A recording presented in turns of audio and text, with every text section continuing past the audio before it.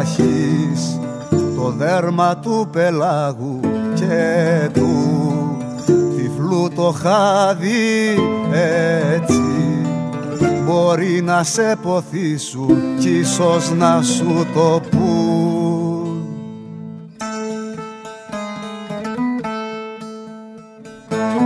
Αλλιώς την πρώτη άνοιξη στο πρώτο σταυροδρόμι.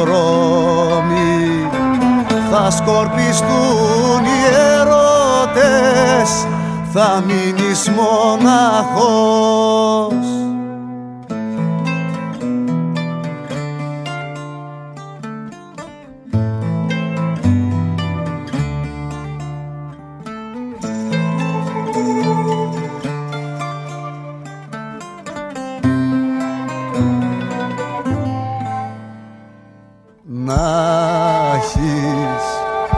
νύχτας στην ανάσα και της.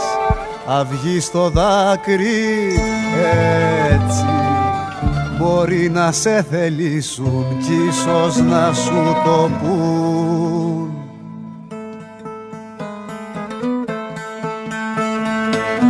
Αλλιώς την πρώτη άνοιξη σε ηλεκτροφόρο σύρμα.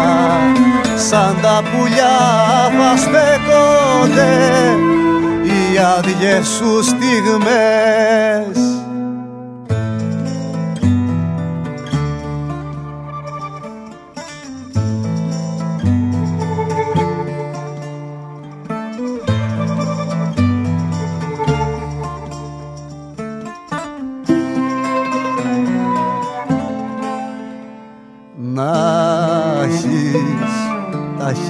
της αβίσου και της φωτιά στο βλέμμα έτσι μπορεί να σ' αγαπήσουν κι ίσως να σου το πούν